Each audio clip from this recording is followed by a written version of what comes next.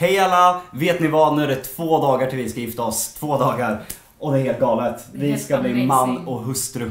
Frö. Fru! Och vi är nog två, de två mest nervösa människorna på jorden just nu. Våra hjärtan går så här typ. Och lyckligast. Och lyckligaste, vi är som små barn på julafton. Det kommer bli vår nervösaste dag men samtidigt den roligaste. Och vi ska prata massor bröllop i den här videon. Galet mycket bröllop. Men först vill jag bara säga en sak. Jag har tänkt och tänkt och tänkt och tänkt och tänkt. Och det är mitt problem att jag tänker hela tiden typ. Och jag vill be om ursäkt till er som tog illa vid sig av det som skrevs. För i mitt huvud när jag skrev det här så var det glasklart att jag menade att våldtäktsmän ska sitta i fängelse och fällas om man gör våldtäkter. Inte som det såg ut i vissa ögon att jag skulle mena att tjejer anmäler våldtäkter för uppmärksamhet. I mitt huvud var det glasklart att det jag tänkte var det som kom ner där. Men det kanske inte var det som kom ner där.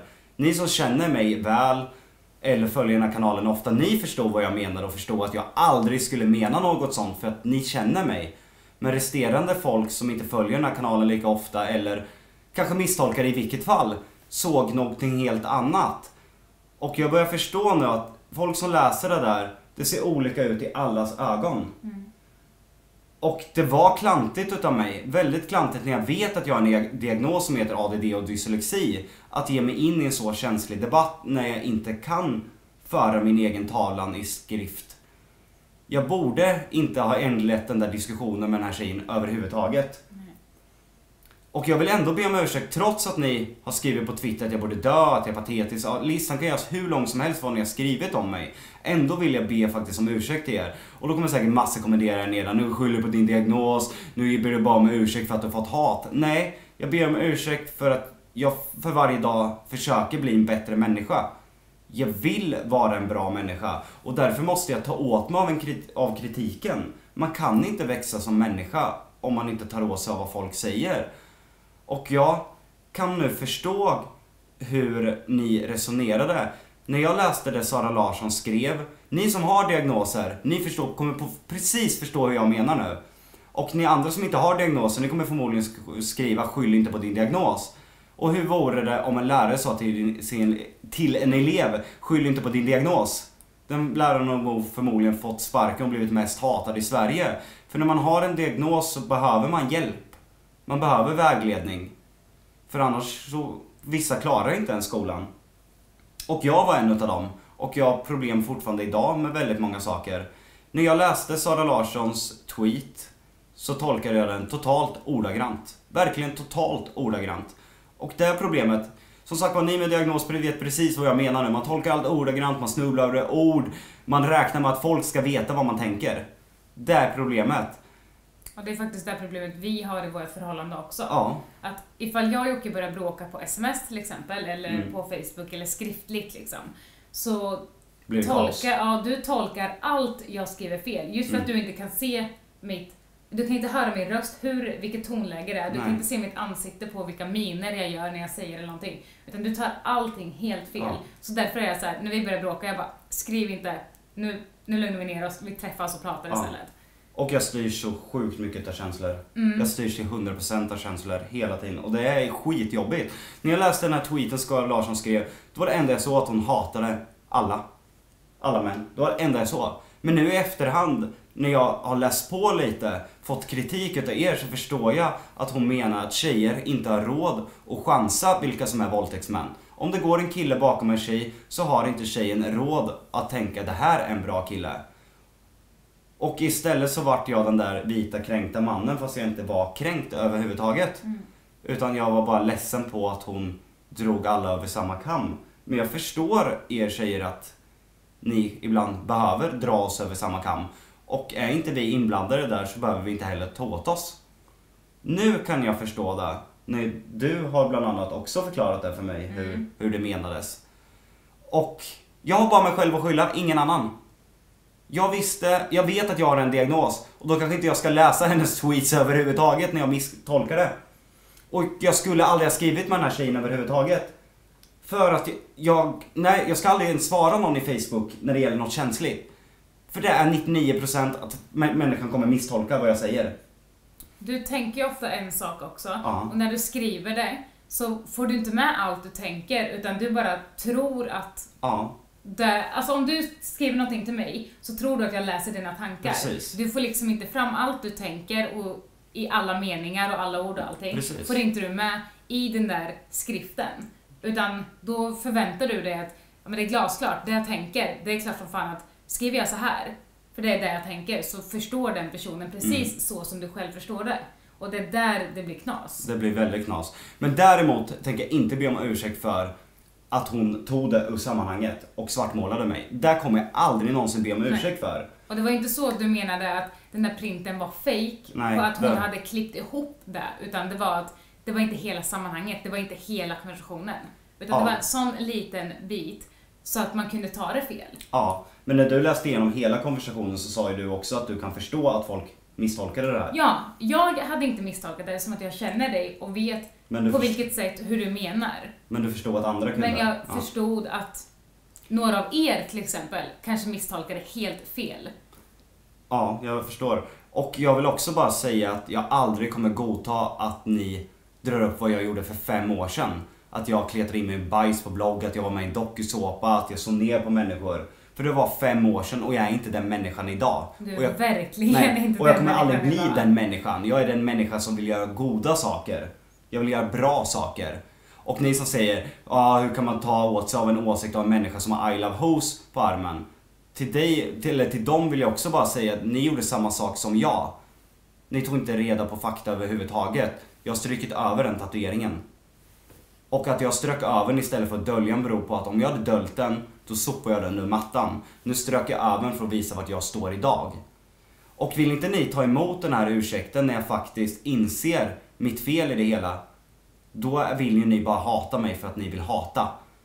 Och det gör ju er till sämre människor än vad jag är. Jag sitter här öppet, försöker förstå er. Vill inte ni förstå mig tillbaka, då vill ju ni bara hata. Och vill ni fortsätta skriva hat att nu gör han en snyftvideo, nu gör han det. Det het, jag förstår inte ens det där ordet snyftvideo. Vad då ska jag göra videos där jag bara Jag har inte gjort något fel överhuvudtaget, jag är perfekt. Då hade ni nyss skrivit där. Sätter jag mig här och ber om ursäkt. Ja, ah, nu passar det att be om ursäkt när han tror att han har förlorat och allting. Och det Jocke vill mena nu är att vad han än gör så kommer det ändå finnas några där ute som kommer Ja, tycka att han gör fel. Precis. Exakt vad jag än gör kommer vissa personer Precis. aldrig gilla mig och då får jag acceptera. Vissa människor har dömt mig för det som hände för fem år sedan. Och då är det en stämpel där och de Precis. kommer inte ändra sig för att de ser inte hans videos idag. Nej. Min mamma kan vi ta som ett exempel. Mm. Hon gillade inte det du gjorde då. Nej, Men- hon hatade mig i början. Exakt. Ni hatade liksom varandra typ. Men nu idag så är hon den som verkligen stöttar dig också. Ja, för att hon har lärt känna hur jag funkar. Och hon har sett dig genom hela den här Ja. resan. Och de flesta som har träffat mig i verkligheten säger oj, jag trodde inte du var sån här. Exakt.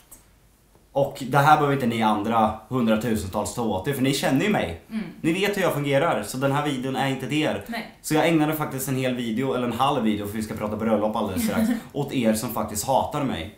För jag bryr mig om er, konstigt nog. Mm. Och det är också med min diagnos att göra, jag suger åt mig allt. Jag är som en svamp, som en radar som går så här. Du bryr dig om alldeles för mycket och Jag bryr mig om allt och alla och jag engagerar mig i saker jag fan inte ens ska lägga mig i. Mm. Och den här feministdebatten skulle jag aldrig lagt mig i. Jag är inte den personen som ska driva den här debatten, jag är inte den personen som ska ha åsikter. Hade Jonna vetat att jag ens gav mig in i det här så hade hon lavettat till mig. För hon vet att jag inte är mogen för att göra det här. För när det kommer till skrift och ibland till tal så är jag 12 år gammal ungefär. Mm. Hade du pratat med den här tjejen i telefon så hade det låtit helt annorlunda. Det är jag ganska säker på. Det är också helt annorlunda. Och det är även när jag jobbar med tv-produktioner och allting. Då säger de på sms, det verkar inte ens vara du. Därför att...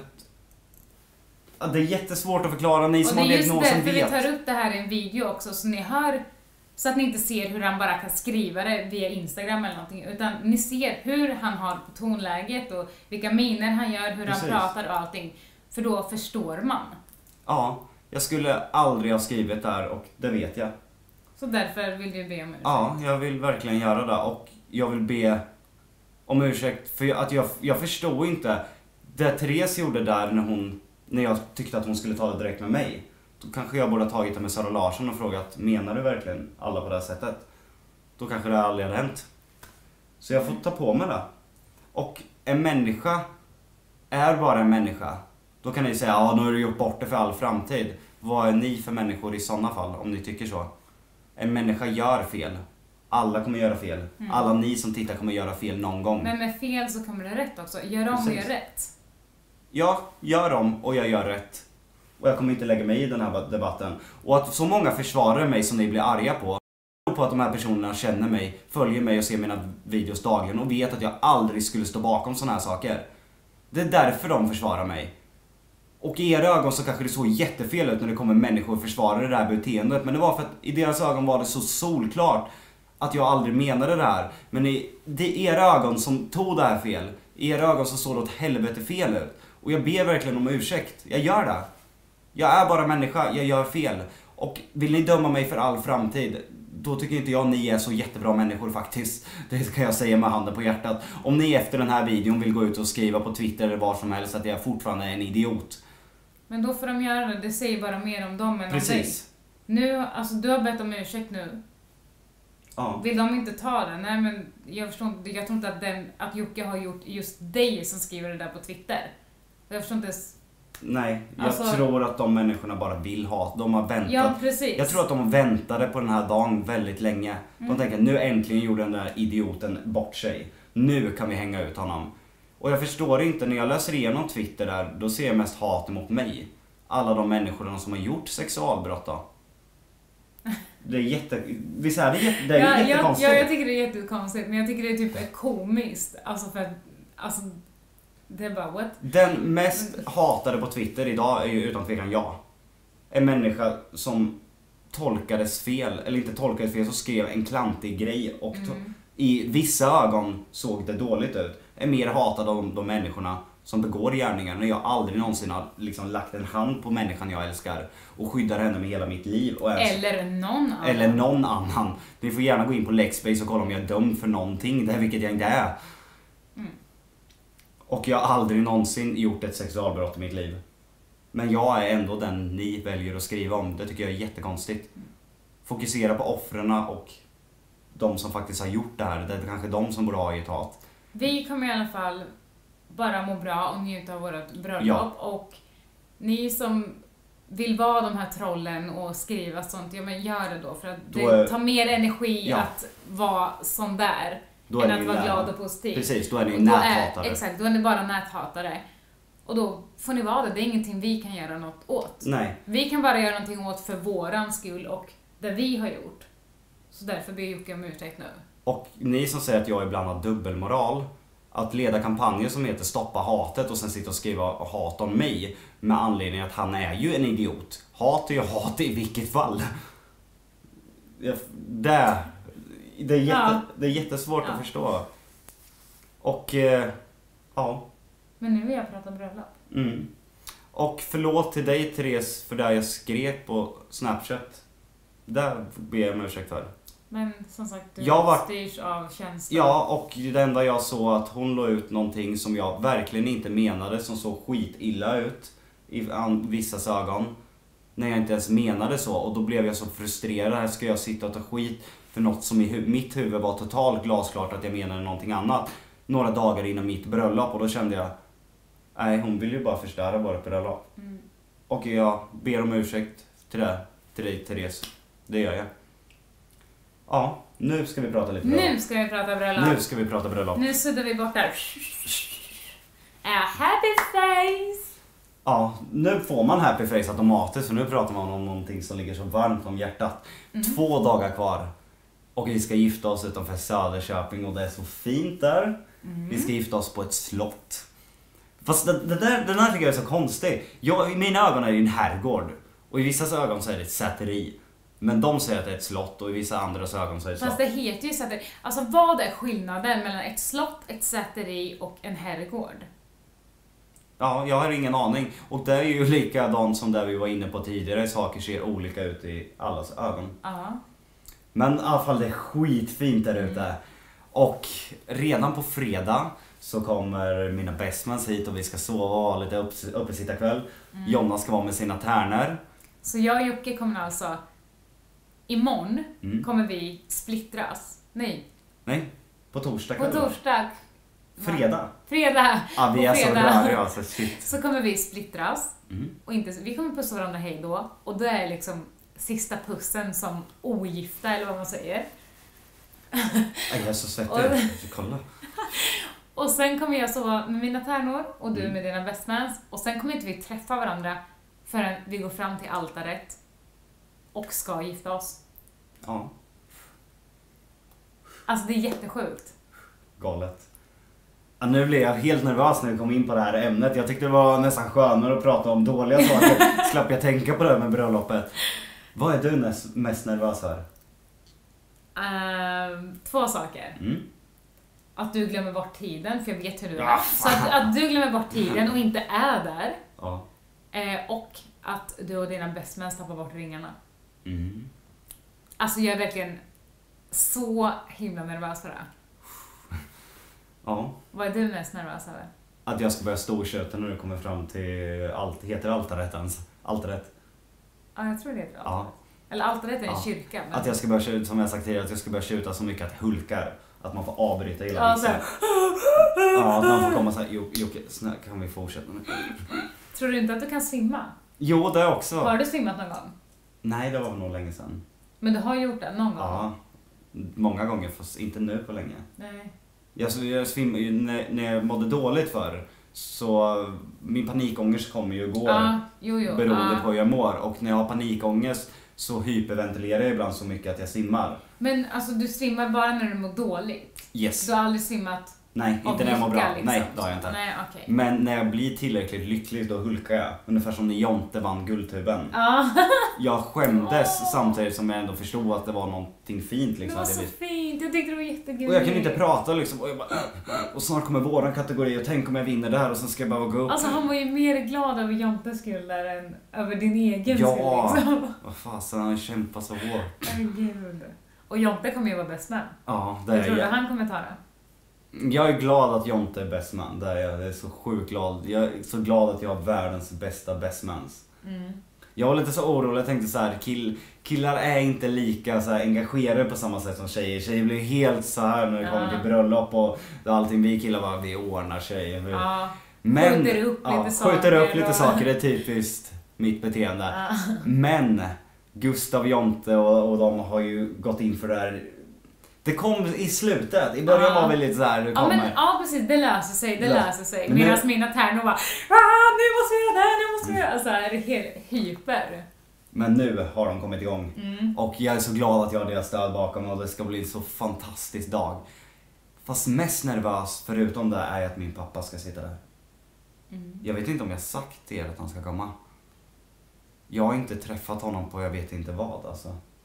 Jag har Ass. aldrig träffat Nej. honom. Och jag är nervös för hur min mamma ska ta min pappa där. Hon vet det och hon reagerar inte så jättebra. Nej. Men hon sa ingenting, men jag såg på henne att hon vart rädd. Men det är ju min dag så hon sa ju inte ett enda ord. Nej. Men på bordsplaceringen har vi placerat dem ljusår ifrån varandra i alla fall. Och jag hoppas att båda kan fokusera på min dag. Mm. Det tror jag att de kommer. Men, ja, det tror jag. Men det är så svårt att tänka sig vad min pappa tänker överhuvudtaget. För jag, jag känner ju typ inte människan. Nej. Men jag vill ändå liksom att på något sätt att han ska vara där den dagen.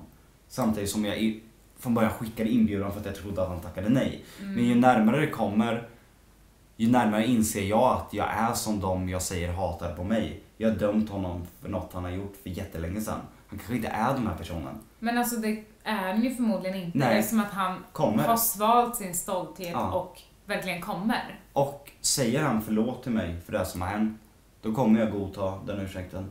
Det tycker jag absolut. Det kommer jag göra. För att jag tror på att ge en andra chans. Mm. Och jag tror- tror inte att jag skulle förlåta mig själv om 5-10 år att jag inte bjöd honom. Nej. Jag tror du hade ångrat dig. Och jag vill se den människan, eller jag vill att han ska se den människan jag är idag. Mm. Jag vill att han ska titta på mig och bara Oj, det här är inte den Jocke som kletar in sitt bajs i bloggen. Det här är en människa som är lycklig, mår bra och står där med... Och då är det ju perfekta tillfället, alltså på bröllopet. Ja. Det finns ju inget mer perfekt tillfälle än Nej. där. Och våra familjer har ju faktiskt aldrig träffat varandra. Nej, det har de faktiskt inte heller. Vi har en sån situation där att vi... Jag har en väldigt traumatisk uppväxt som ni vet. Men det som känns bra är att jag och mamma har fått så jävla bra kontakt nu. Mm, och det är jag väldigt glad över. Jag gillar din mamma jättemycket. Jag Ja. gillar din familj verkligen jättemycket. Det krävdes nog den här videon när jag gick ut och berättade om min barndom för att vi skulle bli osams. Mm. För att vi skulle ha olika åsikter om det där. För att sedan liksom förstå varandra. Mm. Jag förstår henne, hon förstår mig. Mm. Och det är så viktigt att försöka förstå varandra. Och där var jag också lika dålig som er näthatare. Jag levde och hatade min mamma i fan 15 års tid nästan för vad hon gjorde. Och jag vägrade inse att hon förändrades. Precis, att hon hade ändrat på sig. Fast Medan- hon ville visa det hela Precis. tiden. Och medan jag gick där bara, jag har förändrats, jag har förändrats. Men jag lät ingen annan förändras. Mm. Och jag är så glad att jag har tagit in min mamma i hjärtat. Det är jag också. En av de bästa kvällarna jag hade var när vi var hos min syster där och grillade där. På midsommarafton. Ja, det var första gången jag kände att jag är ju fan en familj. Mm. Jag har en, en familj som Alltså, bryr sig om mig. Klockan gick... Alltså, timmarna gick som under. Ja, det, alltså det, det var en magisk kväll för mig. Mm. Var, jag var så stolt också att visa upp för dig att jag har en familj. Annars har jag alltid följt med på Jonas släktgrejer. Och jag har varit liksom en del av er familj istället. Och Jag, jag, Ja, jag, känner, vi- jag känner mig som en del av er familj. Ja, men du är en del av vår Ja. familj. Och jag var så rädd för Jonas mormor från början. Hon hade ju dömt mig totalt från vad hon hade sett på TV. Hon avskydde mig. Det var det värsta som kunde hänt att vi blev ihop. Mm. Men nu, fan, Gun och jag är fan buddies. jag gillar Gun. Kom Jocke! Ja.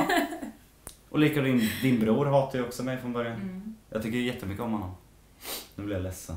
Nej men snudd. Men jag är jätteglad att de Jag är så har... glad att det finns människor som din familj som ger människor en andra chans att få visa vem man är. Mm.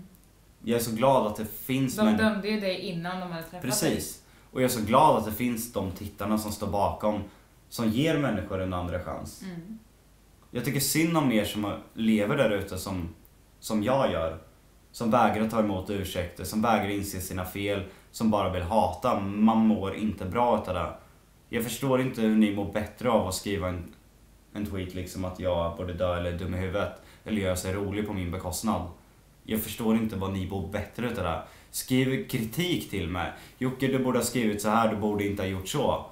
Det hade varit lite bättre. Då hade jag förstått kanske felet lite tidigare. Men i alla fall, tack till din familj. Verkligen. Och tack till mig själv som lät min familj få en andra chans. Mm. Alltså jag är lyckligare nu än någonsin. Jag med. Och vet ni vad? Jag har en syster som har tvillingar. Mm. Det har inte jag berättat för er. Det var inte alls så, det var typ ett och ett halvt år sedan. Mm. Och eh, jag har typ aldrig träffat dem och då är jag så också orolig för. Och det, det är så overkligt, min lilla syster har tvillingar. Mm. Och jag älskar de ungarna, så jävla goa. Jag kände igen mig själv i den där lilla. Hugo heter den ena. Och direkt när vi kommer dit så hade de, eh, höll de på att renovera. Och då var det en sån här vägg med spackel. Och då står han där och pillar i hålet. Amanda, min syster, kommer. Det där får sluta med att ta bort handen. Inte pilla. Alltså, Hugo, det räcker. Liksom såhär. Ja. Ja, så kom- så kommer han igen, kolla om någon ser. Kommer Amanda, nej nu Hugo får du gå härifrån. Så stå, fortsätter vi att stå och prata, smyger han in där för han är ju så kort och sen Och då bara tänkte jag, det där är ju precis jag. Min mamma, mitt största minne som min mamma har berättat är Jocke och humlorna. Varje dag så skulle jag pilla på en humla. Varje gång så grät jag efter. Min mamma har sagt att det ungefär så ut så här när jag sa en humla. Så gick jag fram, mamma bara. Mm. Alltså det roliga är ju att jag vet att hon använder de där ljuden. Ja, det är min det mammas där är ljud. verkligen din mammas det, är ljud. det är där jag har fått ljuden Ja. ifrån. Och dagen efter igen. Kan jag hålla på där hur länge som helst, hjälpte inte vad mamma sa. Alltså gud, jag blir så glad. Nu blir jag ännu mer lycklig. Och mitt andra minne från barndomen är när jag är fyra, fy, fyra eller fem år gammal. Jag var helt besatt utav djur. Så jag kommer hem från lekparken med en igelkott. Till mamma och säger att jag vill behålla den. Det är jättesjukt, jag vet. Jag tog med mig den i cykelkorgen hem till mamma och jag ville prompt behålla den här igelkotten. Alltså som en katt då eller? Ja, ungefär tror jag. Och jag varit skitarg och skitledsen när mamma släppte ut den där. Mm. Så jag skulle varje dag försöka ge igelkottar mjölk och jag var jagade igelkottar nästan. Jag var besatt av igelkottar ett tag. Satte du ut såhär, kollade ut genom fönstret, satte ut en Mjölk. mjölkskål Ja, mjölk. och så bara Ja, i det hopp var, om att det skulle komma någon. det var precis så. Jag tvingade med min bror på så här igelkottsjakt. Men åh, gullis. Än idag, jag kommer du inte ihåg när vi såg en igelkott när vi Jo. bodde i Haga? Hur länge stannade jag där? Typ en halvtimme. Du bara, men snälla det är en igelkott. Alltså bara stod och glodde och glodde och glodde. Först tyckte jag också, de första fem minuterna tyckte jag att det var jättekul att stå och kolla på den här. Men sen när den inte ens rördes liksom bara satt där så här. De är så fina på något sätt, jag vet inte vad det är. Jag älskar dem, deras sån här nos som är så här, och sen bara en liten plupp bara. Det är någonting jag älskar med de där djuren, alltså de påminner på något sätt om mig själv så här.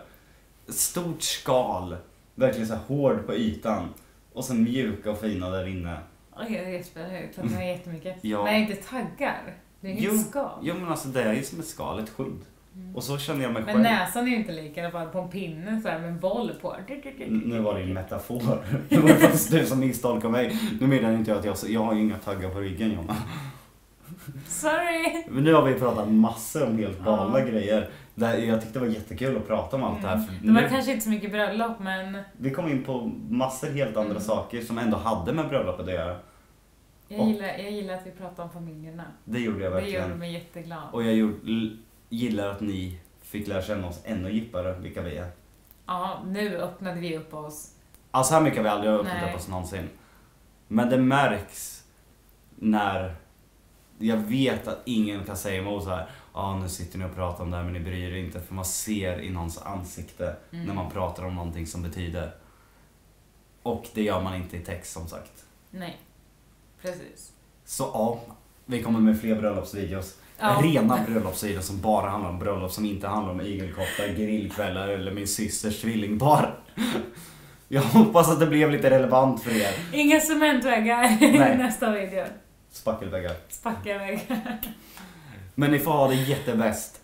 Och ni som fortsätter hata här under, ni som vill skydda, gör inte det. Låt de här människorna hata, jag bara blockar dem. Kommenterar ni tillbaka så bara matar ni de här trollen. Ni häller bensin på elden helt enkelt. Ja, Så strunta i dem bara. De kommer försvinna härifrån i alla fall. Jonna och jag blockar dem. Mm. Och de som har avprenumererat, då har vi ju redan sluppit de människorna som Precis, vill då, hata. då slipper vi blocka dem. Då slipper vi blocka dem. Mm. Då För- hjälper de oss på traven. F- Det är också ett problem jag hade från början. Jag skulle svara alla som skrev elakt. Det kan man inte göra. Nej, kommer du ihåg det? Mm. Bara, Skärp dig. Och då blev det ju att de som skrev någonting bra fick inte uppmärksamhet utan Mm. det dåliga. Och det har jag också lärt mig. Så jag blockerar hur många som helst. Mm. Jag vet inte hur många jag tog bort från kanalen idag.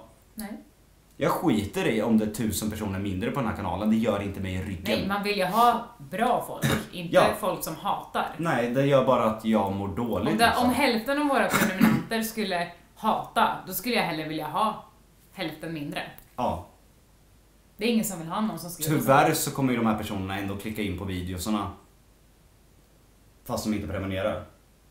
För blockerar jag dem så kan de ändå göra ett nytt konto och så är de tillbaka där. Ja men då är det ju deras tid. Då Ja. tycker jag att de har väldigt tråkig tid. Ja, och Alltså, göra ett YouTube-konto, liksom. det tar fan en stund. Ja, och Men sen för- sitta och göra flera stycken hela tiden för att bli blockad hela tiden. Man bara, Ja, och skriva en kommentar tar också lite tid. För mig är det två knapptryck så är du blockad. Så ödsla inte den tiden snälla. Då kan man göra något kul istället. Ja, Eller någonting man mår bra ja. Och tycker ni jag gör någonting fel, skriv det på ett konstruktivt sätt. Så att jag förstår. Och skriva Jockiboi du borde dö. Det är väldigt svårt att förstå vad jag har gjort för fel då överhuvudtaget. Du kommer ju dö någon gång. Ja, Så de kommer ju få sin vilja igenom någon gång. ja. Jag vet att jag är en bra människa. Mm. Jag vet också det älskling. Tack. Och vill inte ni se det överhuvudtaget, något bra jag gör, då får det vara upp till er faktiskt. Då behöver ni inte ni hänga här. Nej, det här är vårat lilla krypin. Det är vårt lilla kubin och det är det som jag tycker är så tråkigt. Att vi gick från att vara vår lilla familj till att det spred sig till folk som inte ens följer oss, som kommer in här och hatar mig. Mm. Jag tycker det är så tråkigt. De flesta som hatar mig nu är ju de människor som inte har följt mig överhuvudtaget. Mm, de som bara vet att du är ett namn. Ja, Men aha. inte, inte som Ja, person. så här, de hör så här, Jockiboi som ner på kvinnor. Jockiboi. Ah, kungen av Tylösand. Mm. Jockiboi är en idiot. Man bara, aha, kungen av Tylösand, du har ju hållit på med YouTube längre än det. Ja, Så varför känner de inte igen det därifrån? för att Youtube inte är hos alla än.